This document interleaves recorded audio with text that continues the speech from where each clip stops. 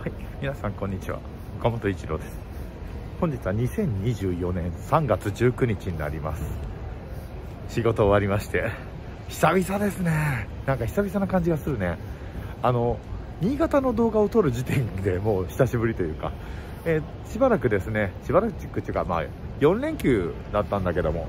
それであの、えー、島根県だとか岡山県だとか、えー、あとは青森だとかにね旅行に行ってきてまあ、ヤクモに乗るんだという、え、タイトルで、まあ、一人旅に行ってきたんですけど、帰ってきて、まあ、そちらで撮ってきた動画がね、すごく溜まっていてですね、ちょっとずつ出してるんですけど、え、なかなか追いつかないということで、今日はまあね、まあ、ちょっと間が空いたんで、新潟駅の動画をね、撮っていこうかなと思いますので、ぜひ最後までお付き合いください。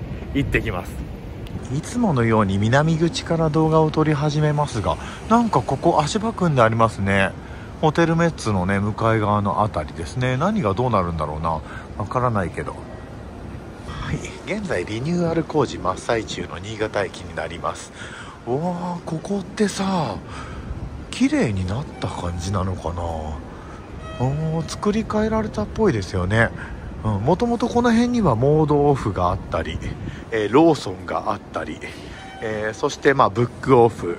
そして新ガチャっていうねガチャガチャがたくさんあるお店があったりした場所になります。えー、これでもだ新しくはなってないよね。多分傷だらけだもんねなんかね。あなんかてっきりさもうバッチリ新品になるのかと思ってたけどこの辺は変わらないみたいですね多分ね。この辺の自動扉なんかもともとあったものかな。なんか新しいって感じしないね全然ね。えー、まあそれなりに綺麗にはしたんだろうけど思った以上になんか再利用感がありますね。南口の1階部分になります。はいそしてリニューアル工事のね一番の目玉となります。部分はこのねバスターミナルになります。まあ、現在はこんな感じでですねお客さんここで降ろしてですね、まあ、真ん中で待機ぐるりと回って向こうからねお客さん乗せるような構造なんですが、えー、3月31日からですね、まあ、ここでお客さん降ろすのは変わらないんですけどバスがここで折り返しているのがですね、えー、この中をねまあ、くぐり抜けてバンダイの方に抜けていくというね構造に変わります、えー、かなりもうできてきてですねもうあとそうですね今日19日だからあでもう本当あこことかほら画面がつきましたねとうとうねえー、もうまさになんかテレビみたいなモニターがね、はい、こう書いてありますね。3月31日バスタミナルグランドオープン。まあ、どうなるのかね、多少の混乱はもしかしたらあるのかもしれませんが、非常に楽しみなところですね。はい。今19日なんで、あと12日ぐらい、2週間切ってるんですよね。すごい楽しみではありますね。はい。そして、まあ、バスがね、もうあの、研修用のね、新潟コースのバスがね、置いてありますね。他には全然誰もいないけど、まあ、こんな感じでね新たにガードが取り付けられたりえそしてまあお客さんの並ぶ列をねこう誘導するような矢印がですねまあこうやってね、えー、敷設されているような感じになりますバスはこんな感じでね、まあ、斜めにつけるような感じ乗り場がそっちになりますねそれぞれ行き先なんかもねもう全て決まってるようなんですがはいそんな感じでございますまだね、入ってはこないけど、とりあえずね、その、なんかバリケードみたいなのは外されてますね。うん、まあ、バスが中に入ってるからかもしれませんが、こんな感じ。そして、まあ、そのね、各番線ごとにね、液晶モニターでしょう、おそらくって言ってたものがね、あの、もうついてますね。はい、やっぱり液晶モニターでした。ざざっと見ていきましょう。まず9番線ですね。それぞれの番線に、そうですね、液晶モニターが取り付けられているといった感じ。今はね、心側の方に、心側違う、まあ、えーと、まあ、駅の中央側の方のね、通路にいます。あれが端っこ側ですね。あれが東側の方になりますね。後で向こうにも行ってみます。はい、こんな感じでね。はい、多分、まあ、乗り換え案内とか、その時刻表だとかがね、まあ、こうやってね、デジタルで表示されるような感じだと思われます。これが8番線。そして7番線になりますね。現在はこうやってね、バスターミナルのオープン3月31日っていうのがね、もっぱら書かれているような感じになりますね。はい。そして間がこんな感じ。この隙間は、この隙間はさ、通っていいやつなのかそうでないのかはちょっとわからない。でも通れる、普通に。通れるけど狭いけどね。まあ、まあ、入っちゃうとちょっとそうだね。で出れなくなるのかな、これ。はい、こんな感じでですね。もうあのこのこれもねたくさん並ぶ予定の場所なんでしょうね。6番線多分現在の BRT だけど BRT とは呼ばなくなるという説もある、はい、その辺はちょっとどういう風に決まったのか僕は分からないけれども、はい、これはもうすごいたくさん乗るっていうね想定で作られてる感じかな。これあのこの白い枠のスパンがえらく長いんでこれね連接バスのためにね用意されてるのと、まあ、普通のバスが着いた時も後ろにまたあ、ね、普通のバスが着くみたいな二重でね着くような感じのために多分長くしてあるのかもしれませんね。はい。現在はね BRT は3分間隔とかで、ね、出る時間があるんだけど、まあ、これが始まってから3分間隔になるのかちょっとわからないですけどね、うんまあ、とりあえず、まあ、本数がかなり出るタイプのね、えー、まあ、路線ではあるといった感じですね。はいそしてバス停の後ろ側ですね背中側の方はですね心がねもうほとんどできてるといった感じ。お何これ？フルーツが何て読むの？ガガガザリングって何て読むのかな？わかんない。読めない読めないんだけどお店の看板がね取り付けられてますね、はい、ななんだろうね。フルーツっていうのは多分合ってると思うけど。こんな感じ。ディファレンスって書いてある？ディファレンスって書いてあるのかな？そしてこれはゴンチャっていうのかな？ゴン茶え何？何？タピオカドリンクとかのお店だっけ？わかんないけど、はい、そしてまあ6番線だけはですねこれまああの内側の方にね通路側の方に向けてこの液晶画面がね取り付けられてます。他のところはみんなこっち側なんだけどね。こっち側についてるんだけどねそして5番線6番線の間にですねこういった4面のモニターがね取り付けられてますね。もうすでにみんなこれねほとんどの液晶画面がね、まあ、全部だね全部ついてるね。はい。バスターミナルの横断は危険ですというね注意書きとあとは3月31日にオープンねリニューアルオープンのねバスターミナルですね。まああとは注意書きとかが書いてあったりするような感じですね。まあ、3月31日前にはねこのバリケードとかも全て撤去されてねもういよいよ始まるっていう感じなんでしょうね。すごい楽しみですね、まあ、ほとんどできてる。まあね今はねバスが来ないからね横断する方は結構いるんだけど、うん、うわーでもとうとうできてきましたね。はい。これから一旦ね、えー、まあ、向こう側ですね。え、15番線から18番線かな。向こう側の方にも行ってね、えー、あとそうですね心の看板が取り付けられてるんでね見てみたいと思います。はい、デッキの下ですね。まあ、ここもね、間もなく歩けるようになるんじゃないかなといったとこですね、心の脇。ね、この辺のお店なんかもね、3月27とかにね、一斉にオープンすると思うんですが、非常に楽しみですね。なぜか成城石井だけがね、21日、あさってオープンする予定になってるんだけど、成城石井はどこなのかちょっとね、僕も把握してないですけど、あさってオープンの店がね、1軒だけあるといった感じになります。駅前の工事の現場はこんな感じ。まあ、これデッキの下になりますね。デッキの下まだこんな感じでですね、まだまだといった感じではありますね。基本的にはね横切ることができないので、えー、向こう側にね東側の方に行くには、えー、その階段を上って上から行くか、えー、それはたまた南口の先の方で渡るかそれとも、えー、駅前のねこの磐梯側のですね丸竹ビルの前でね、え渡るかという感じになります。なのでですね丸竹ビルの前からね、え渡って向こう側に行ってみようかなと思います。い、通路はこんな感じでですね仮設な感じで非常にま狭い、ね、感じになりますね。これはさ何なんだろうねこれはね盛り上げてるのね、うん、しばらくこんな感じらしいんですけどね。そしてあのなんかあの配電盤っていうかなんかその電気のなんかね真ん中あれもね、まあ、しばらくそのまま残るらしいですね、うん、半年ぐらいそのままという話噂があります。はい。そしてバスターミナルこんな感じでですねできてます。はい、これが3番線。ここもなんかもねほら液晶画面がもうねすでにね稼働している感じになりますね。はい楽しみですね。すっかりこの辺のねバス停なんかももうできてますね。はい屋根もできてます。結構まあこの辺は風が入ってきて寒いことは寒いですね。はいそして2番線なんかもですね。これ全てこのね、まあ、同じものが表示されるのか、まあ、ここにねここから乗るバスのね、まあ、始まればねバスの案内というかその時刻表とかねそういったものもね多分映し出されるのかなといったところでございますはいそして最も端っこ1番線になりますねどこ行きなんだろうねもう書いててもいいんじゃないかと思うけど間違えて並んじゃうと悪いから書かないのかはい、1番線はどこ行きなんでしょうね。すいません。ちょっと把握してないですが。はい、乗り場はこんな感じで全てね、まあ、並ぶ列をね、こう誘導するようにね、こうやってね、あ線が、矢印が引かれてるような感じになりますね。はい、これ先ほどのね、言った通りでございますが、真ん中の変なとこはね、あの、ね、横断しないでくださいね。はい。えー、駅の2階を渡るか、ね、南口、ね、渡りたくなる気持ちはわかるんですけどね。はい。そしてここですね、この信号からね、横切るしかないといった感じになりますねはい。この信号からね横切りますまあさっきね中にバスとかが入ってたりしたからねまあバリケード今は外してあるんだろうけどまあ稼働開始するとですねこのなんかチェーンみたいなやつが多分この中に収納されてるんだけどこれを多分バーンと貼るんだと思うんですよね。夜はバス来ないですからね。まあ多分そうですね。最終がちょっと早くなるのかな。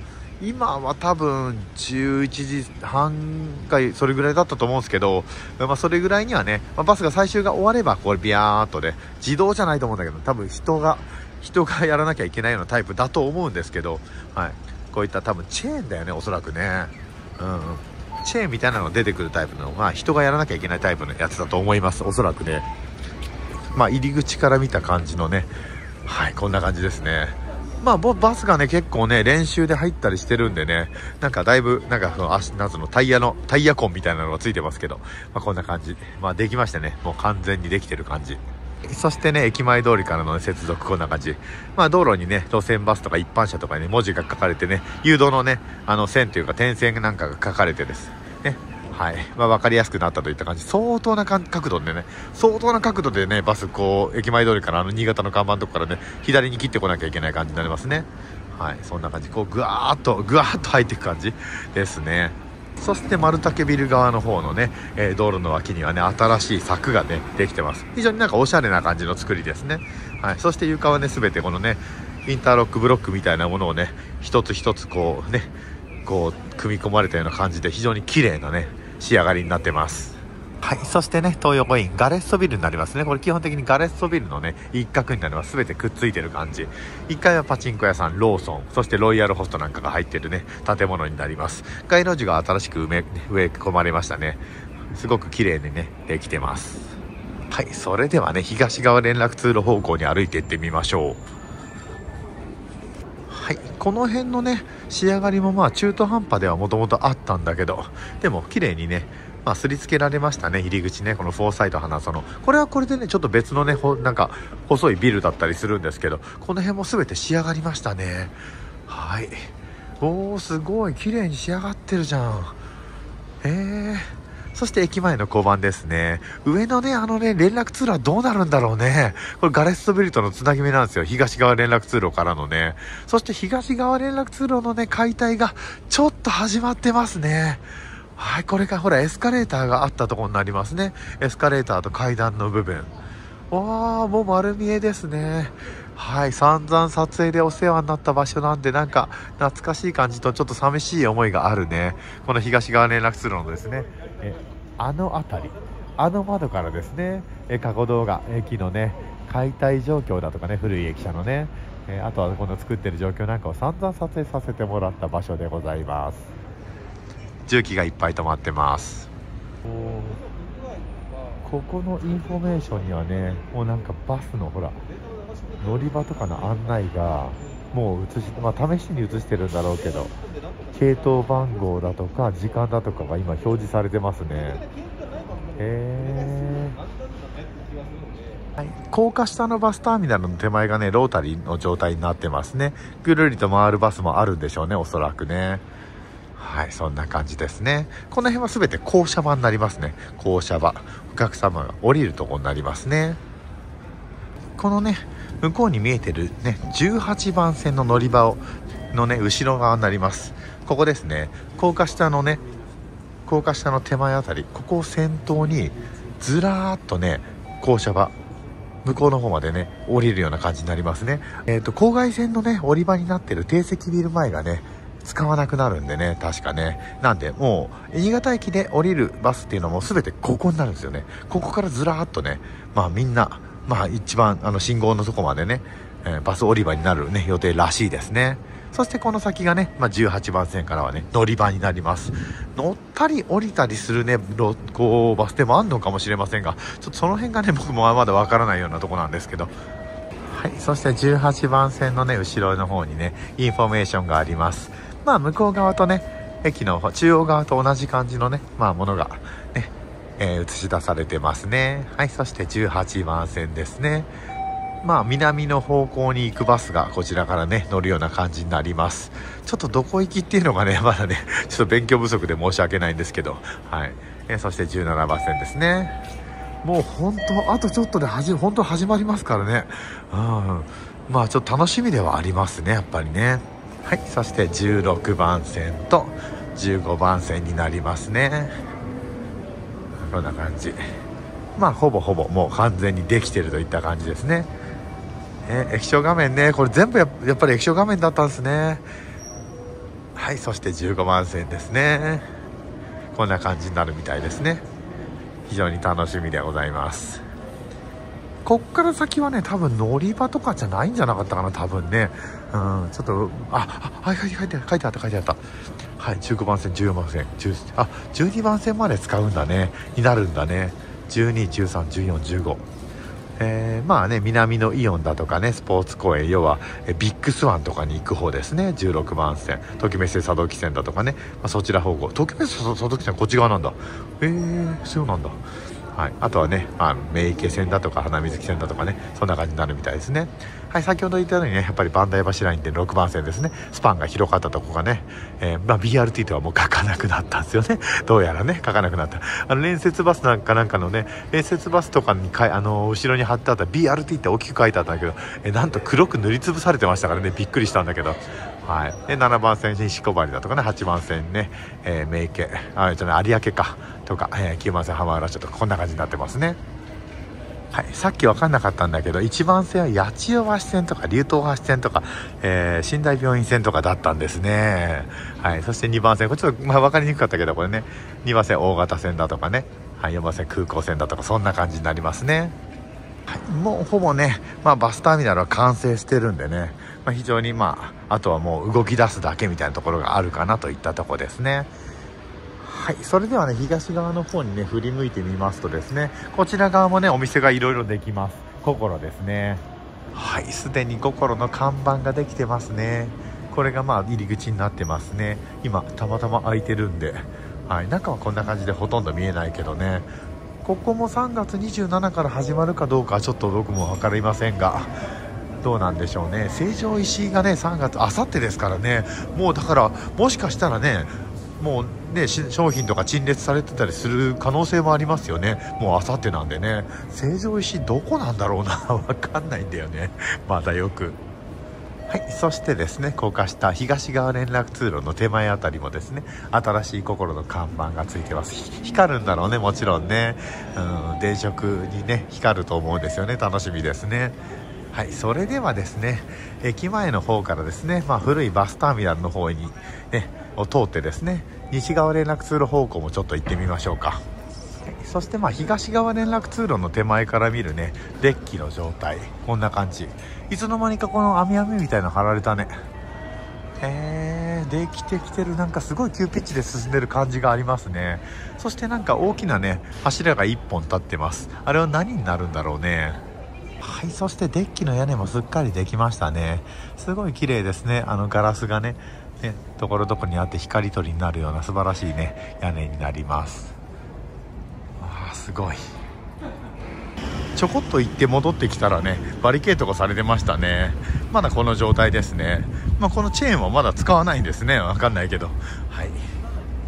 はい。いよいよあと少しでね役割を終えるバス降り場。そしてバス乗り場になりますね。タクシーはそのままですね。タクシーはしばらくそのままですね。なんとタクシープールがですね、タクシープールやタクシー乗り場がですね、この西側の部分にできるんですよね。このね、新潟駅というね、えー、看板がある、まあ手前あたりですね。まあこの辺りにね、できるんだけど、まだまだ全然なんでね、こちらのタクシープールとかタクシー乗り場ができるまではですね、しばらくタクシープール、タクシー乗り場はこのまんまになりますね。バスだけがね、一切こちらには来なくなりますね。まあ今はねタクシー降り場だとかねバス乗り場がね混在していてですねまあ混み合ったりするとかなりごちゃごちゃになるという状況なんだけどそれはね全て解消されますね。タクシーとバスがね全く分離で別々になるんでね、まあ、これが BRT 乗り場だけどこれもね、まあ、一切こっちにはねバスが来なくなるんでね非常にまあ楽しみですね。はいそしてこれがですねまあもうちょっとで役割を終えてしまうですね。新潟のまあ名物みたいなバスターミナルになります。バスがね路線バスバックしてねまあその行き先のところにね別に入ってくる。行き先行き先別にねバックで入ってくるって非常に珍しいバスターミナルになります。まあ、これ珍しくてね、まあ、本当に名残惜しい部分がありますけれども、今、本当にね、これ撮影している方もものすごく今多くて、まあ、本当、ね、最後にね、えー、1枚撮っとこうみたいな感じでですね皆さん結構写真撮られてるんですけどまあいよいよですね3月30日をもってですねこのバスターミナルまあね、えー、終了ということでですねまあ非常に、まあ寂しい感じはありますね。えなんか最後にね、4月に入ってからだと思うんですけど、なんかイベントがあるらしいですね。お別れ、なんかバスターミナルみたいなイベントが、まあ、詳しくはちょっとわかんないんですけど、まあ、リンク貼れたらね、概要欄にリンク貼っときますけど、えなんかそんな感じのね、噂をちらっと聞きました。なんかバスをね、ずらっと並べて一気に出発するみたいなね、なんかそんな感じの、まあ、趣旨らしいんですよね。はい。まあ、バックで入ってくるっていうのはね、まあ、路線バスほとんどバックはしないですからね、ほとんどね。まあ、そんな感じの、まあ、非常に珍しいバスターミナルではあったかなという感じになりますね。まあ、こう稼働してる状態をね、撮影するのももしかしたらこれが最後かもしれませんが、僕もね。はい。まあ、これお客さん松川の方になりますね。えーと、3番線から13番線まであるのかな。はい。これがそれぞれですね。全てバスターミナルがですねあの東側の方に移されると。まあ、真反対な感じになるんだよね。今これ西側にあるからね。そんな感じになります。あなんかでもちょっと寂しい感じはあるねやっぱりね。そして前回まではねこの駅の中の工事がよく見えたんだけどまたね新たにこのね工事用の壁で覆われましたね。駅の西側部分。そしてですねこちらも3月31日でねえー、渡れなくなる西側連絡通路。こちらの方もですね,、まあよねいよいよ役割を終えるといった感じになります。このね大階段なんかもですねまあ本当によく 僕も撮影に来たような場所なんで、まあ、ちょっと寂しいなという思いはありますね。そして西側連絡通路ですね。駅の解体工事の時からね撮影し始めてもうかれこれね本当に4年か5年近くなるのかな、えー、ずっと撮ってきましたけど、えー、いよいよねほんと出来上がってきたといった感じになりますね。西側連絡通路も本当にあとちょっとでね渡れなくなるんでまあちょっと寂しいかなといった感じ。はい。そしてあれですね、まあ、階段おそらく階段ができるんだろうけど。これね。うん。まあ、まだまだといった感じ。その前にですねあの下のねその今通路もできてますけどねこの真ん中ね。あの黒々したアスファルトのところから展示ブロックが見えてますかね。あそこがね通らせるみたいですね。で入ったところにエスカレーターができる。でもできてると思うんだけどそこ上がったところがちょうど柳庵の向かいぐらいなんですよね。蕎麦屋のね、えそんな感じになるねらしいですね。今度の通路は。ね、この西側連絡通路を通れなくなるね。31日からはですね、えー、あの真ん中のね通路。からね、まあ、バスターミナルのこのね真ん中の通路から中にドーンと入る。これもちょっと楽しみですね。3月31日に来たいぐらいなんだけど日曜日仕事なもんでなかなか来れないんですけど、はい、非常にまあ楽しみなとこですね。こちらが西側連絡通路の突き当たりからの風景。結構好きなとこだったんですけどね。ここからをね景色を眺めるのももうできなくなってしまいますね。31日からね。はい、そして第五丸カビル。このビルもですね、えー、まあ今年から取り壊しが始まるという感じになります。新しいビルになります。そしてこれがねバスターミナルの大きな屋根。これもですねまあ31日以降ですね、まあ、使わなくなるんでね、えー、撤去されるという感じなんです。どんどんどんどん変わっていきますよ。はい。そしてこのね西側連絡通路からのねこのほらビルへの入り口なんかもこれどうなるんだろうねこれね。これどうなっちゃうのこれ。わかんないけど。まあ多分この通路もこれオセオっていうのかな。これ上がマンションなんだよね。多分マンションの作りだよねあれね。この駅からのね通路も多分まあこれ取り壊されるからまあなくなるんでしょうね。それかまあ1階からの階段ができるのかね新たにね分からないですけど。そういった感じになります。はい。そして西側連絡通路の入り口からのね眺めでございます。あの屋根がさ、ね、デッキの屋根がやっぱりだいぶね中央の方まで伸びましたね、うん、やっぱこう西側と東側だけじゃなくね全部つながるんでしょうけどね。こんな感じになります。あの新しい通路が非常に楽しみですね。中に行くとまあエスカレーターがあるっていうの書いてあるんですよね。登ったところがその駅旅コンシェルジュの手前柳屋の向かいあたりになるらしいんですよね。この階段がねすぐにでもでもできるのかなと思いきやなかなかね完成しないといった感じになりますね。これが背中側になります。最後まで残っていたねこのホームなんですよこれ。なんかちょっと前まで白線とかも見えたしてたんだけどね。すっかり。なんかパイプかなんか埋まってるんだね。あれも全て撤去されてこのホームもなくなっちゃうんだろうね。ちょっと寂しい感じはあるね。はい。西改札から磐梯広場への新しい通路のイメージが書いてあります。この駅旅コンシェルジュですね。駅旅コンシェルジュのねすぐ脇にねエスカレーターができるらしいんですよね。まだねシャッターが閉まってて見えないんですけどね新しいエスカレーターがもうできてるんですよね。そこから降りるとさっき見えてたこの通路がね出てくるといった感じになりますね。向かい側はね柳庵があるとこですね。お蕎麦屋さん。今から行ってみます。いよいよここもね通ることができなくなりますね。ちょっと寂しい感じはあるね。なかなかこのところはね普通普通は通れないからね。西改札の方に出てきました。柳庵ですね。お蕎麦屋さんの柳庵の向かい側。そして駅旅コンシェルジュの隣ですね。ここになります。このシャッターがバカーンと開いてですね。ここにエスカレーターがあるらしいんですよね。それも早く見てみたいんですけどね。エスカレーター降りると先ほどのね新しいね通路にね導かれるといった感じになりますね。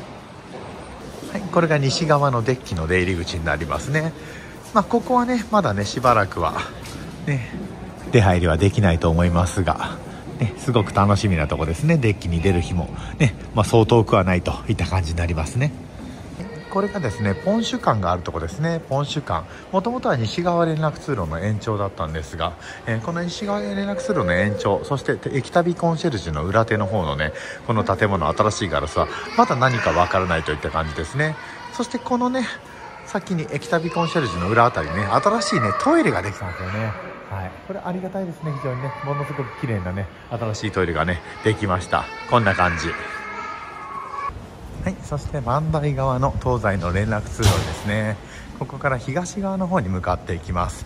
東側のね、えー、まああのニューデイズの前のねガラスからデッキの状態あとはね駅前の状態をちょっと見てみようかなと思います。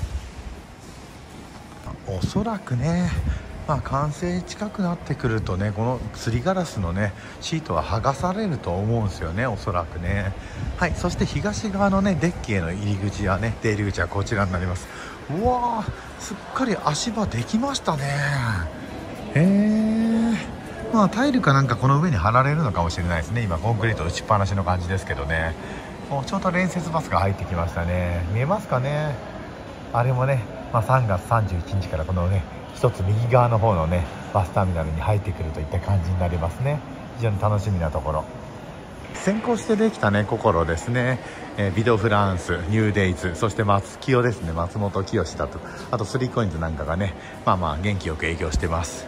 はいこちらがね一番まあ端っこの方のまあね出入り口になるのかなおそらくね。自動ドアじゃないけどね。はい。あの支柱がね新しい支柱が見えてます。資材がたくさん置かれてます。そして屋根なんかもね見えるかなこれ。見えますかね屋根。できてますね。非常に綺麗な仕上がりになってますね。東改札の部分ですね。まあ休み前ということもあって結構人はごちゃごちゃしてるかなといった感じ現在4時半ぐらいですね。はい、この辺なんかもね新たにお店ができるところねだと思うんですが、え今のところどこに何が入るとかっていうのはいまいちわからないんですが成城石井がねあさってオープンするんだけどちょっとまだわからないですね。どこなんだろう。えー、観光案内センターですね、ド派手なね、めちゃくちゃド派手です、めちゃくちゃ、うわ、すごいよね、これね、本当にね、うわすごい、もう本当になんか最新技術を駆使して作られたような感じのね、はい、えー、観光案内センターです、ド派手。はい、在来線も新幹線も今のところね平常に運転されてるようですね。はい。そして心のね入り口看板なんかができましたね。東側の部分になります。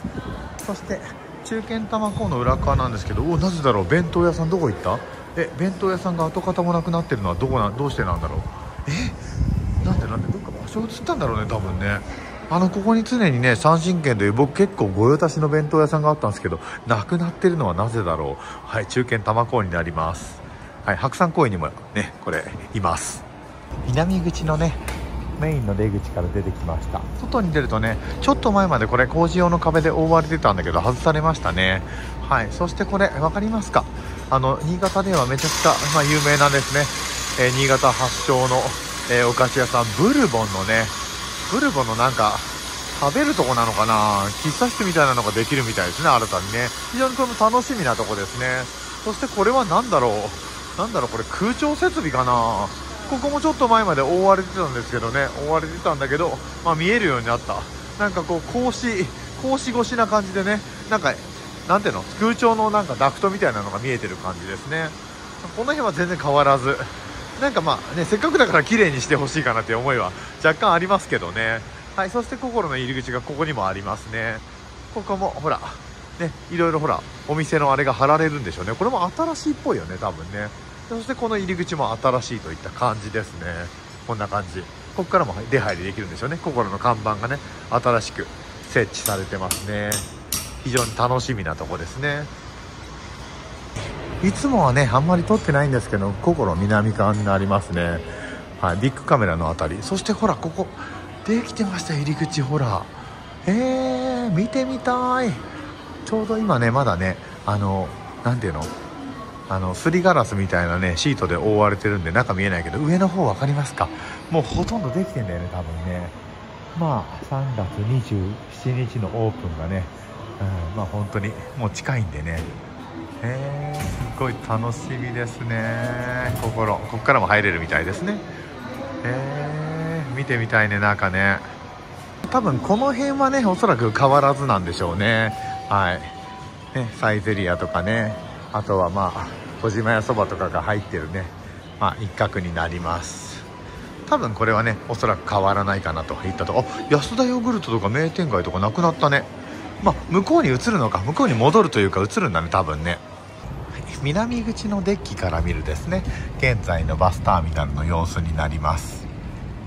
まあ新たにねこのまあ乗り場降り場の屋根が延長されてね、まあ、こんなジグザグのような形になってますね、はい、そしてですねバリアフリー縁石といってですねバスがこうべったりねえー、その縁石にくっつけられる感じのね新しいタイプのね、えー、そのバリアフリー縁石がね、まあ、敷設されて、まあ、新たにねなったような感じになります。そして真ん中の待機場にはね線が敷かれてですねあと番号が振られてます。これはまあ多分そのバス側の方のねバス会社側の方のねなんかルールでねそこに止めるとかそういった感じになるらしいんでね。あそこで乗り降りは多分しないと思うんだけどね。こんな感じになりますね。うん。まあちょっとまあね本当駅のこのリニューアル工事にしろですねこのバスターミナルにしろですね。まあ まあなんとなく言い方悪いかもしれませんがもう本当に経費最小限、えー、労力最小限みたいな感じでですね、まあ、結構ケチケチ作ってる感じなのかなっていうのは印象ですね。うん、元あってね使えるものはそのまま使うっていうのがねすごくわかる感じのね、まあ、作りになりますね。ちょっと寂しい感じはありますよね、えー、バンダイ側なんかもね本当にあの本当あのね上でデッキでね、まあ、向かいのビルとつなげたりしてほしかったなっていう、ね、思いが若干ありますけどね、まあ、非常にまあ楽しみな部分ではあります。はいまあ、天気若干どんよりしてますが南口のデッキからね見る風景は結構好きな、ね、眺めだったりしますね。はい大体ぐるりと1周回ってきましたので最後にですねいつも撮ってるんだけど、えー、南側のね高層マンションの建設現場をちらっと見てですね動画を終わりたいと思います。本主間の先西側連絡通路の延長になります。こちらになりますね。ここ開かないんだよね確かね。おまたさらにほらまたさらに高くなってきたんじゃない？ほら。わあ下のほら何ていうの？柱みたいなのが見えましたね。あれがほら1階の部分がだいぶ高いよね多分ね。1階の部分が結構高さ取ってあるけど2階3階4階5階ぐらいまでできてる感じ？これは結構さ30階建てが建つんですよ。30階建て書いてありますよね。30階建て免震タワーマンション建設士なんですけどそれがねこれなんですよ。これ建ててるんですけどこれがね今5階でしょ？5630これ6倍ぐらい？6倍ぐらいまでいかないかもしれないけどもうガーッとねあのクレーンもだんだん上がっていくんですよね。ダーッと上がっていくんですよね。